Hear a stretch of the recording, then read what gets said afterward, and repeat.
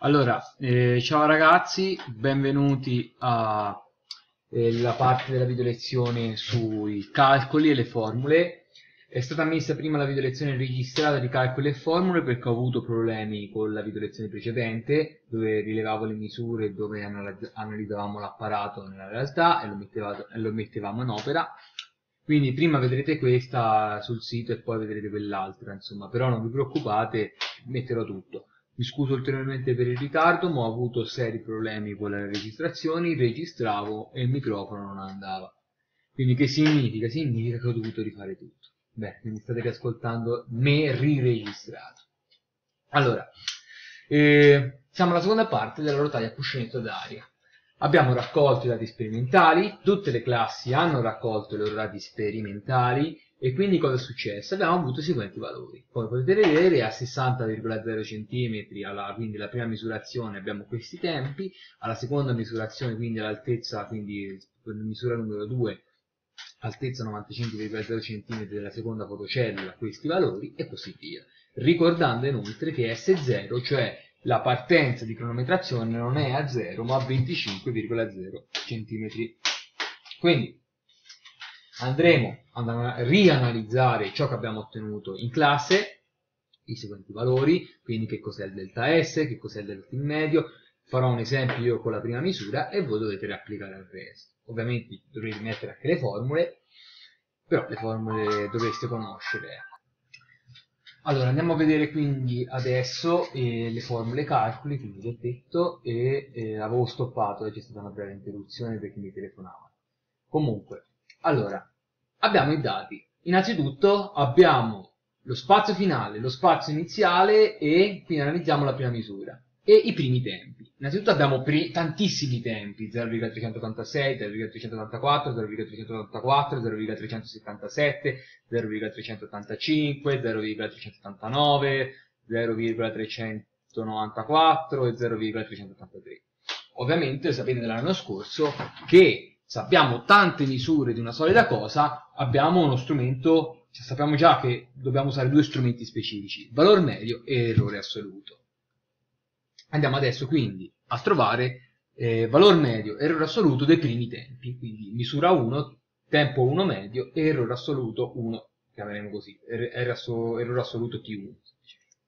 Quindi allora, eh, copiamo la tabella perché ci tornerà altamente comodo ma vedo già che ha fatto casino quindi CTRL copy CTRL V eccola qua un po' piccina e la ingrandiamo voilà allora abbiamo la nostra tabella abbiamo i nostri dati adesso che facciamo? facciamo il calcolo della media. Qualcuno un'altra classe è venuto leggermente diverso, ma alla fine veniva la solita zuffa, eh? però per un piccolo errore di approssimazione veniva leggermente diverso il valore non approssimato, ma dopo veniva per, a modo il valore giusto, insomma il valore finale approssimato. Ma insomma, seguitemi, mal di poco quello. Troviamo quindi il tempo 1 medio. Il tempo 1 medio com'è quindi? È 0,386 più 0,384 più 0,384 più 0,377, quindi la somma dei valori diviso il numero dei valori, più 0,385 più 0,389 più 0,394 più 0,383 diviso il numero di valori. Che sono? 1, 2, 3, 4, 5, 6, 7, 8 diviso 8 e facciamo quindi la media. Guardiamo un po'. 0.386 più 0.384 più 0,384 più aspettate eh, 0,384 più 0,377 più 0,385 eh, più 0,389 più 0,394 più 0,383 diviso, diviso 8. Che fa? Vediamo un po' se ho fatto bene i calcoli. Mm, ok, ho fatto c'è stato un piccolo errore, vi rifaccio velocemente i calcoli, eh. Vediamo un po'. Quindi che viene circa, rifacendo i calcoli, 0,3852 che approssimato in base alle regole di approssimazione che bisogna considerare la sensibilità dello strumento più preciso del, del calcolo, quindi in questo caso sono tutte misure temporali, quindi arriveremo al millesimo di secondo, eh, quindi tre cifre dopo la virgola, quindi considerare sempre lo strumento più preciso, viene 0,300 circa 0,385 secondi. Il valore medio alla misura 1 è 0,385. È lo stesso che abbiamo trovato in laboratorio. L'errore assoluto come sarà? Eh, sapete, è errore assoluto eh, T1 quindi misura del tempo 1, sarà valore massimo, che è 0,394, meno valore minimo, che è 0,377, tutto diviso 2. Quindi vediamo un po' se torna. 0.394 meno 0.377 che fa 0,017 diviso 2 che fa eh, 0,0085 che di nuovo approssimato sempre a tre cifre dopo la virgola viene 0,009 qui si è fatto il saltino perché il numero successivo all'ultima cifra di approssimazione è maggiore o uguale di 5 quindi bisogna fare aumentare l'unità. Quindi se la cifra successiva dopo l'approssimazione maggiore o uguale di 5 bisogna aumentare il valore di 8, quindi l'ultimo valore approssimato di un'unità, quindi 0,009 secondi. Abbiamo quindi trovato il primo valore, T1 uguale a 0,385 più o meno 0,009 secondi. Questo è il nostro primo valore. E infatti l'abbiamo messo qua. Ecco, un'altra cosa da calcolare è lo spazio. Lo spazio percorso nel rilevamento del nel rilevamento temporale del tempo. Quindi lo spazio è, vi ricordo il ragionamento che sarà fatto è questo. Il carrello, ve lo faccio in blu, il carrello parte all'altezza di 0 cm, con la bandierina a 0 cm, quindi qua c'è il nostro fantastico carrello, accelera, poco prima della prima fotocellula smette di accelerare, va con un moto costante, quindi ricrea, abbiamo ricreato un moto costante imperturbato, quindi tolto l'attrito e via discorrendo, all'altezza di 25,0 più o meno 0,2 cm, quindi a questa altezza S0, dopodiché abbiamo smesso di cronometrare a un'altezza di, nel caso della prima misura, di S1 uguale eh, 60,0 più o meno 0,2 cm. Eccoci qua.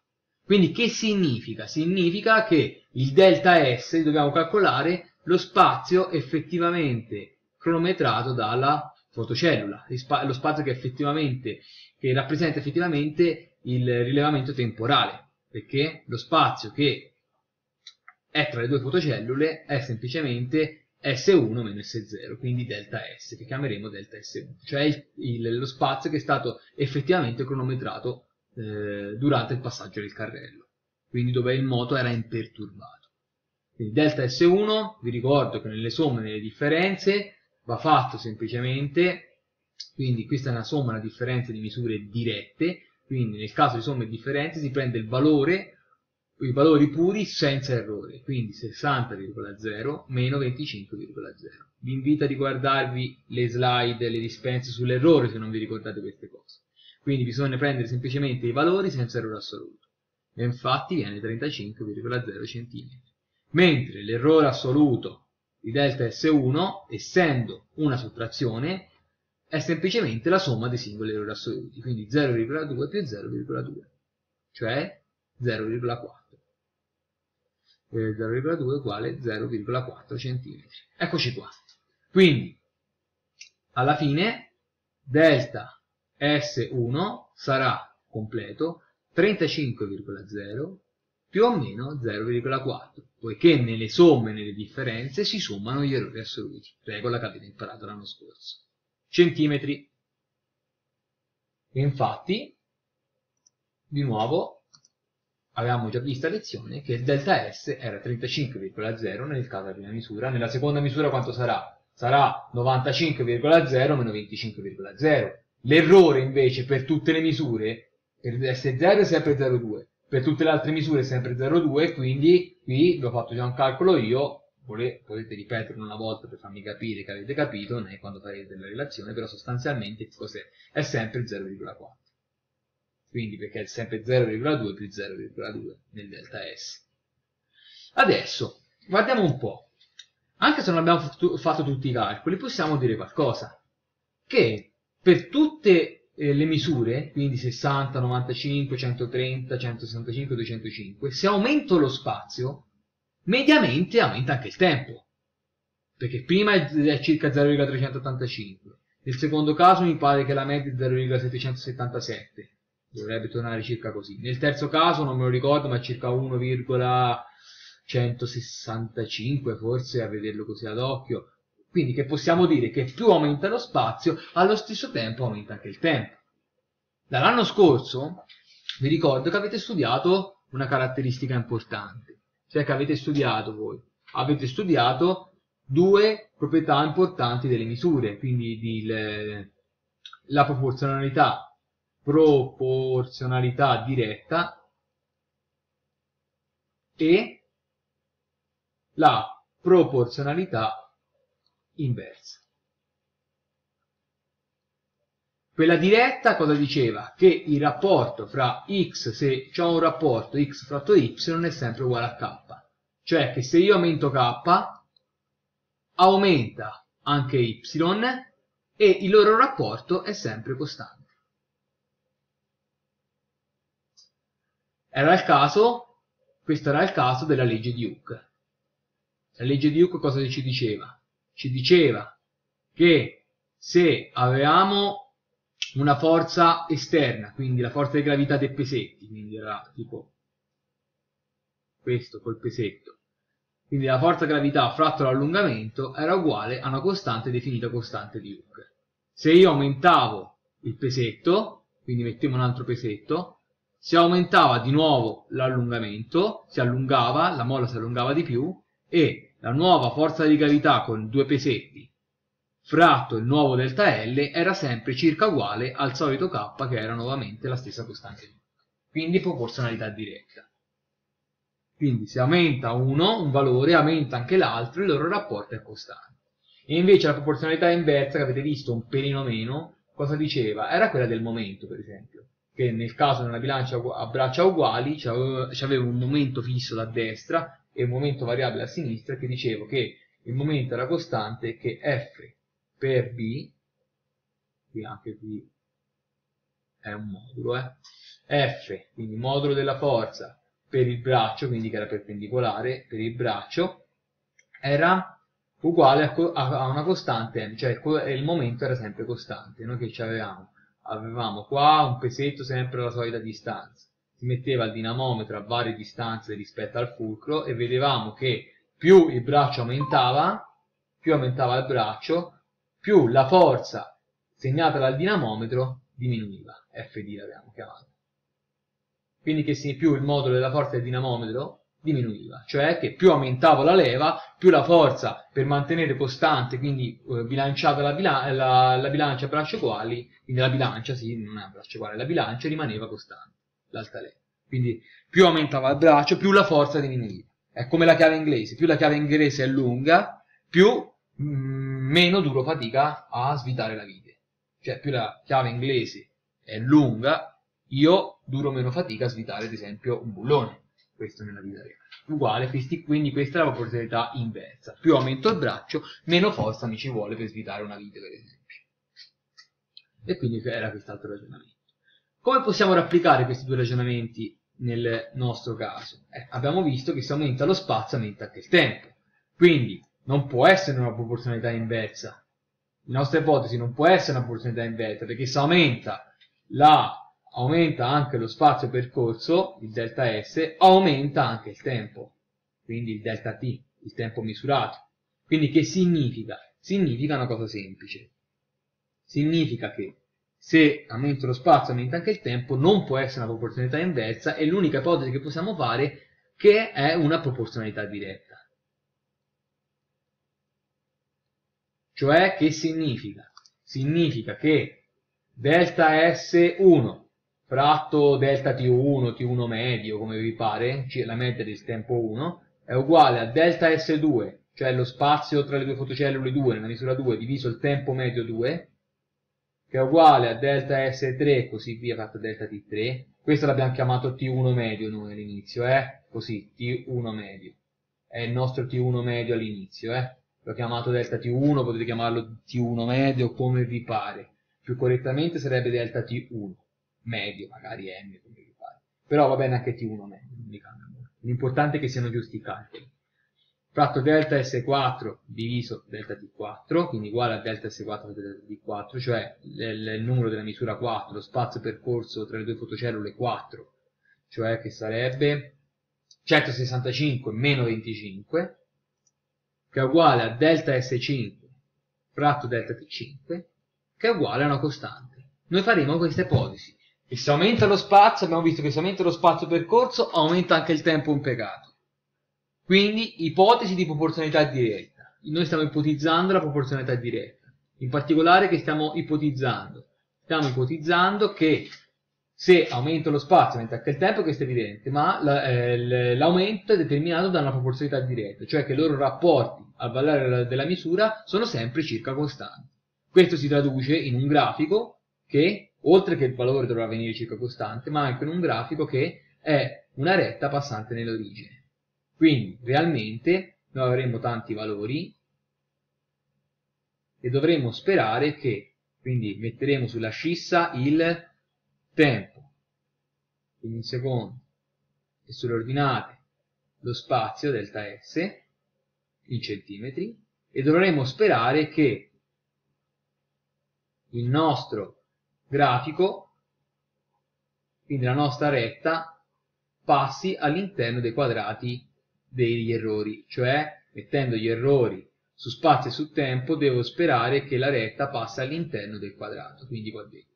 Se ci passa abbiamo dimostrato la legge, perché significa che la legge è verificata.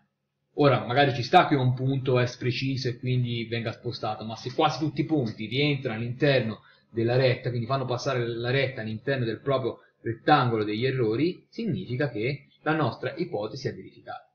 Quindi vi ricordo velocemente, proporzionalità diretta, quindi se aumenta un valore aumenta anche l'altro, il rapporto è costante, graficamente si traduce in una retta passante per l'origine. Siccome però le nostre misure sono reali, non passerà perfettamente per tutti i punti, ma l'importante è che passi all'interno dei quadrati.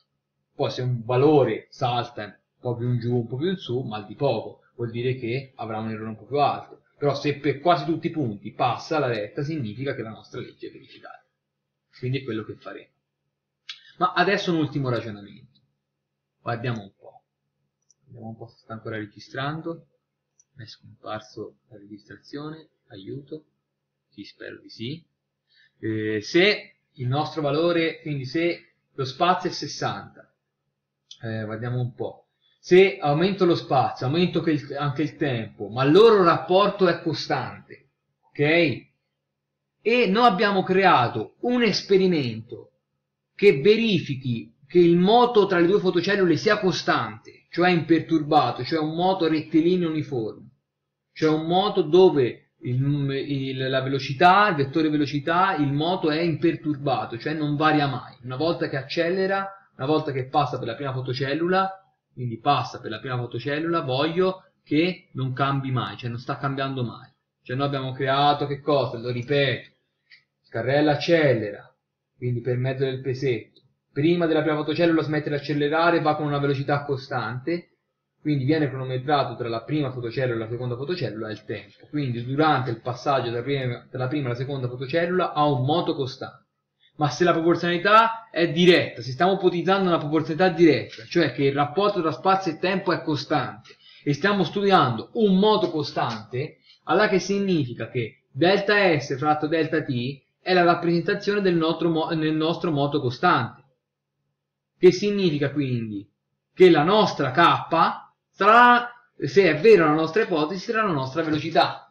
perché l'accelerazione è sempre la solita. Stiamo variando solo lo spazio. Se aumenta lo spazio tra le due fotocellule, aumenta anche il tempo.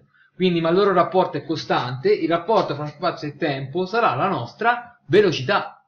Perché se è costante vuol dire che il rapporto è costante, ma anche la velocità eh, che abbiamo ricreato è costante perché l'abbiamo imposta noi. Quindi il rapporto tra spazio e tempo, se è vera la nostra ipotesi di proporzionalità diretta, corrisponderà proprio alla velocità del carrello in tutte le misurazioni, perché l'accelerazione è sempre la solita, quindi la velocità è sempre la solita. Quindi quello che verificheremo noi è la legge che rilega spazio e tempo con la velocità.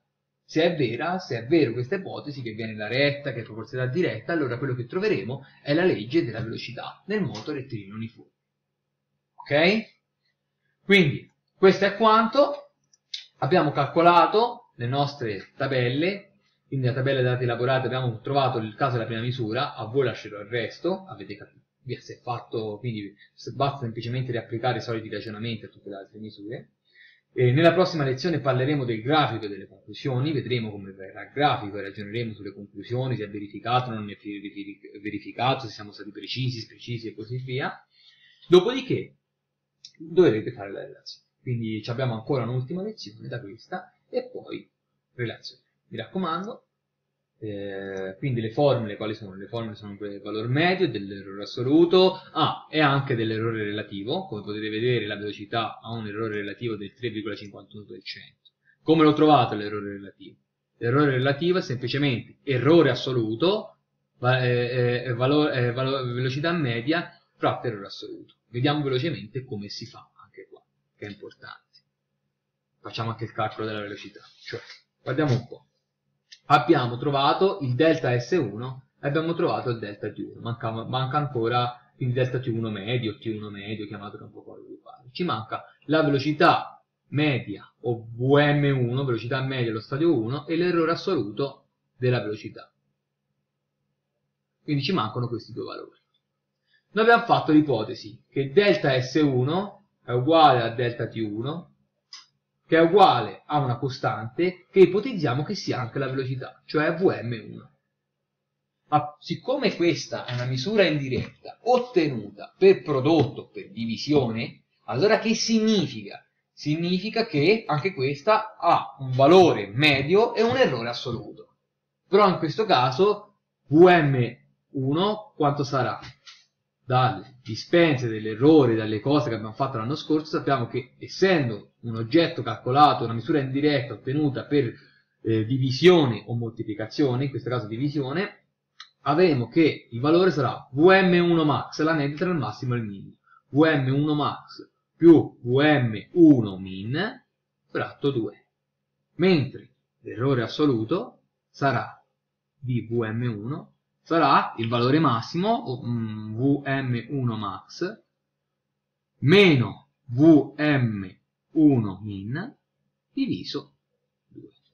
Quindi il valore da considerare sarà eh, la media tra il massimo e il minimo, e invece l'errore assoluto sarà la, la, il semidispersione, quindi il valore massimo meno il valore minimo diviso 2, tra il massimo e il minimo. Ma se la formula di Vm1 se la formula della velocità abbiamo ipotizzato che sia delta S fratto delta T, ok, o T1 medio, come vi pare, che significa che Vmax o Vm1 max, quanto sarà? Sarà lo spazio più alto possibile fratto il tempo più piccolo possibile. Perché questo? È delta S1 max fratto delta T1 min, perché vogliamo che la, la misura sia più alt, la più alta possibile. Quindi il numeratore deve essere il più alto possibile. E questo che significa? Che è 35,0 più 0,2, cioè più l'errore assoluto, vogliamo il valore più alto della nostra stima, fratto 0,385 meno l'errore assoluto, cioè il valore più basso della nostra stima, cioè 0,009. Ok? Quindi guardiamo un po', era 0,385 meno 0,009 e invece lo spazio è 35,0 più 0,4. Ho scritto bene? 0,4, non 0,2, scusate. 0,4. Che significa quindi? Perché è 0,2 più 0,2. Che significa quindi che il nostro risultato sarà 35,4 diviso eh, 0,376 che fa eh, 94,148 no e via 94,14893 che dobbiamo approssimare in questo caso utilizzando la cifra più precisa cioè una cifra significativa dopo la virgola cioè dobbiamo troncare 4 siccome questo valore è 4 l'1 rimane così quindi viene circa 94,1 qual è l'unità di misura? Eh, sopra abbiamo i centimetri quindi centimetri sotto abbiamo i secondi quindi il risultato è centimetri fratto secondi, cioè 94,1 centimetri fratto secondi. Ragionamento inverso sarà per la velocità del media 1 minima, perché vogliamo il valore più piccolo possibile. Quindi sarà delta S1 minimo, quindi il valore più basso, la nostra stima più bassa possibile dello spazio, fratto il delta T1 massimo, perché vogliamo dividere il più possibile e quindi al, numero, al denominatore va messa la misura più alta possibile. Quindi quanto verrà? Sarà 35,0 meno 0,4 fratto 0,385 più 0,009 che si traduce in che cosa? Si traduce in 34.6 diviso 0.394 che fa 87,82 approssimato 87,82 anche qua bisogna troncare alla prima cifra significativa perché lo strumento meno preciso si ferma a una cifra significativa dopo la virgola quindi il valore verrà 87,8 di nuovo centimetri fratto secondi. A questo punto il giochino è quasi fatto perché il valore medio 1 da considerare sarà eh, 94,1 la media 94,1 più 87,8 diviso 2, cioè la media tra massimo e minimo,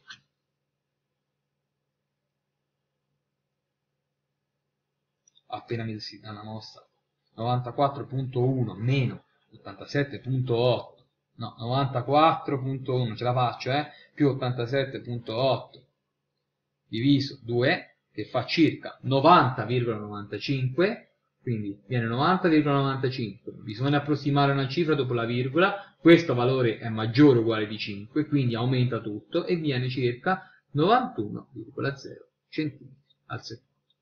Invece l'errore assoluto sarà valore massimo 94,1 meno valore minimo 87,8 diviso 2, cioè facciamo il calcolo 94.1 meno 87.8 diviso 2 che fa 3,15. Ma siccome anche qui bisogna approssimare una cifra dopo la virgola, in linea con lo strumento meno preciso, quindi viene circa 3,2 cm al secondo. Quindi la nostra VM1 sarà totalmente 91,0 più o meno 3,2 cm al secondo, che corrisponderà a un errore relativo di V1, quindi, o anche percentuale, adesso lo vediamo, quindi sarà VM1 fratto errore assoluto 1, chiamiamolo V1, chiamiamolo V1, errore assoluto di V1 sarà 93, no, ho fatto al contrario. Allora, scusate, sarà,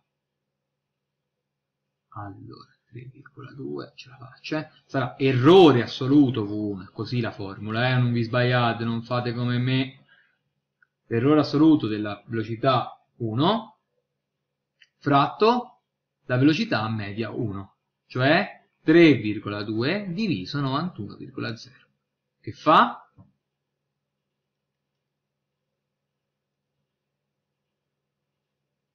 zero virgola zero trentacinque cioè un errore di circa 3,5%. Eccolo qua, 3,51 come vi pare. 3,5, 3,51. che vi ricordo l'anno scorso, essendo l'errore relativo maggiore dell'1%, è una misura abbastanza precisa. Non male, eh, comunque, ma comunque un po' sprecisa. Va bene, penso di aver detto tutto, si è calcolato delta t medio, quindi la somma dei valori diviso il numero dei valori temporali, l'errore assoluto, tempo massimo 1 meno tempo minimo 1 diviso 2, il delta S, cioè la distanza della seconda fotocellula nel primo caso, diviso meno lo spazio alla partenza, quindi meno la, la partenza, quindi la prima fotocellula 25,0, quindi spazio finale della prima misura 60, meno spazio iniziale della prima fotocellula 25, quindi 35,0, l'errore assoluto, la somma dei singoli errori assoluti dello spazio, quindi 0,2 più 0,2, la velocità media facendo il valore massimo della velocità e il valore minimo della velocità, la stessa cosa per l'errore assoluto della velocità media nel primo caso, e l'errore relativo della velocità. Quindi si è fatto tutto. Per dopo, mandatemi un'email, sapete qualcosa, quindi appunto mandatemi un'email e appena posso vi rispondo. E arrivederci.